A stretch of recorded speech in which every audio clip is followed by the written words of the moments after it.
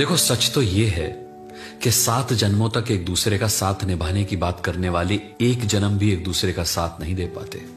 वजह चाहे जो भी हो, लेकिन एक जन्म भी मरते दम तक एक दूसरे का साथ नहीं दे पाता कोई। हम्म। कोई नहीं जानता कि वो पिछले जन्म में कौन था और किसके साथ था, और ना ही कोई ये जानता है कि अगले जन्म में वो कौन होगा और किसके साथ होगा।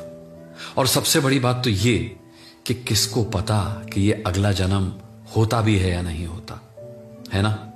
मतलब ले देकर जो भी है, बस यही एक जन्म है। देखो, साथ मरने की तो कोई गारंटी नहीं है, लेकिन जब तक ज़िंदा हो ना, साथ जीने की कोशिश ज़रूर कर सकते हो।